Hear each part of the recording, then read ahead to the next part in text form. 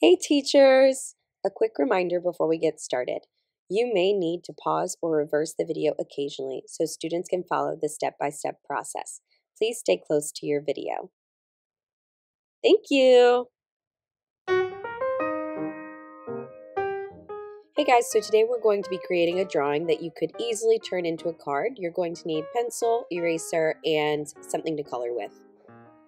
I'm going to be drawing with a marker and I'm going to be starting by drawing a large letter U.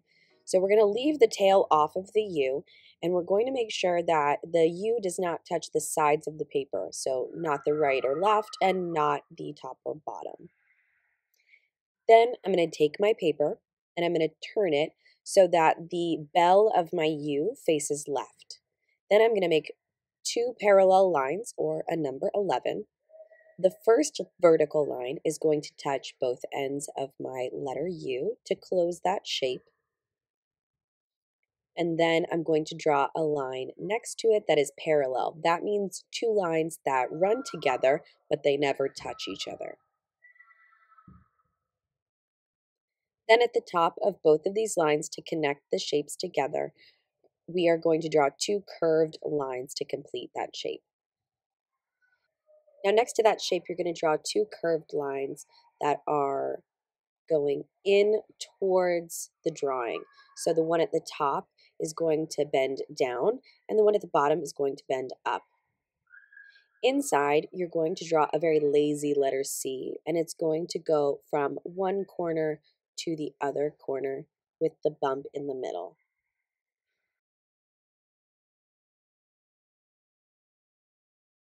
Then I'm going to go back to my two curves that I did just a second ago. I'm going to draw an L. So I'm drawing the vertical line for the capital letter L. And what we're doing is the foot of the L, instead of being horizontal, is now going to be diagonal.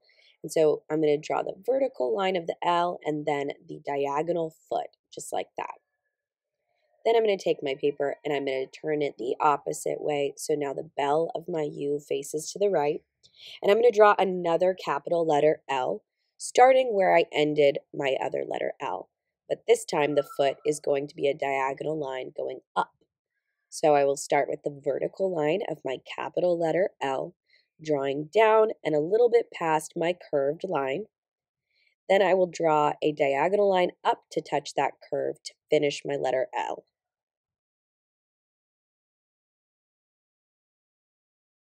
Then I'm drawing another vertical line underneath my L's and two curved lines to complete the shape.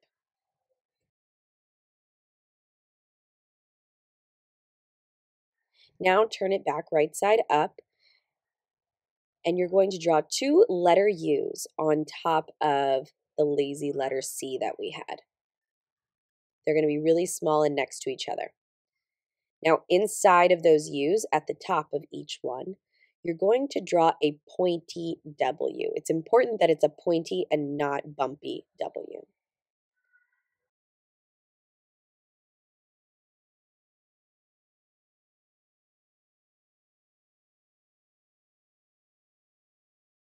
Then you're going to turn your drawing upside down and we're going to draw apparently our favorite letter for this drawing, a letter U. This one is going to be a little different than our first one and it's going to curve in a tiny bit next to those U's and W's we just drew and come back around. Now I'm going to draw two horizontal lines going through the center of my U. These are also going to be parallel, which means that they are not going to touch each other. Then I'm going to draw a letter V. And then I'm going to add a little line at the end of that and come back into my horizontal line for each of those sides of the V.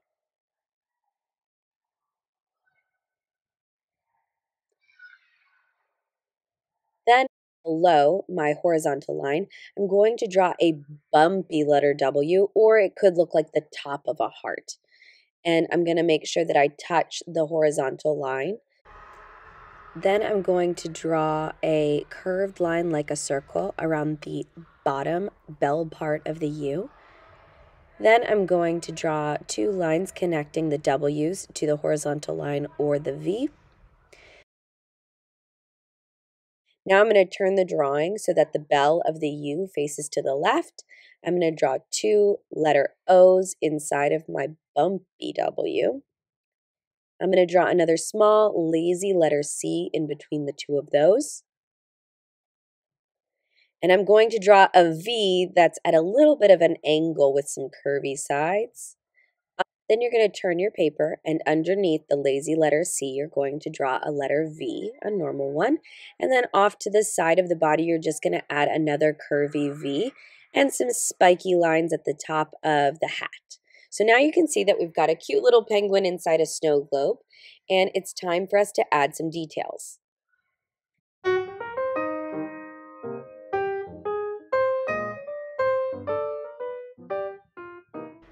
So you can see here that I'm adding some lines to add interest to my base of my snow globe and then creating a couple of sort of wonky triangle trees and some bits of snow using dots and circles to show that some are closer and some are farther away. You would want to have some amount of snow inside of your snow globe since it's in the name.